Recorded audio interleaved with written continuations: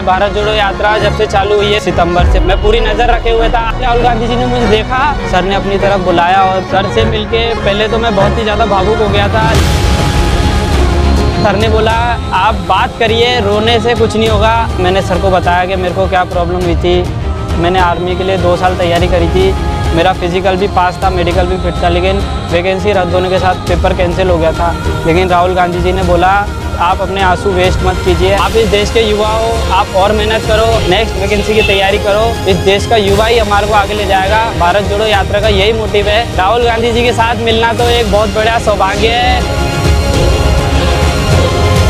देखिए, यात्रा में बुज़ुर्ग लोग मिले, बच्चे मिले, महिलाएँ मिली, उन सबका उन्हें सम्मान करा।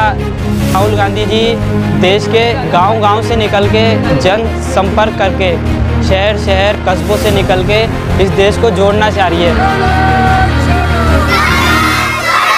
जैसे कि अभी करंट सिचुएशन है, भारत में बेरोजगारी ज़्यादा बढ़ चुकी है, युवा परेशान है। मैं चाहता हूँ, राहुल गांधी जी 2024 में देश के प्रधानमंत्री बने, इस देश का युवा प्रधानमंत्री बनेगा तो इस देश के युवाओं की बात जान पाएगा।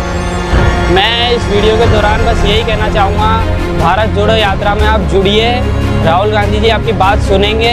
बेरोजगारी से छुटकारा, गरीबी, लाचारी, सबसे छुटकारा मिलके एक अच्छा देश बनेगा। वो इस देश को जोड़ रहे हैं, वो युवाओं को जोड़ रहे हैं, बुज़ुर्गों को जोड़ रहे हैं। कन्याकुमारी से कश्मीर तक एकजुट देश को इकट्ठा करके देश की ताकत पूरी दुनिया को दिखाना चाहते हैं तो आप इस यात्रा से जुड़िए।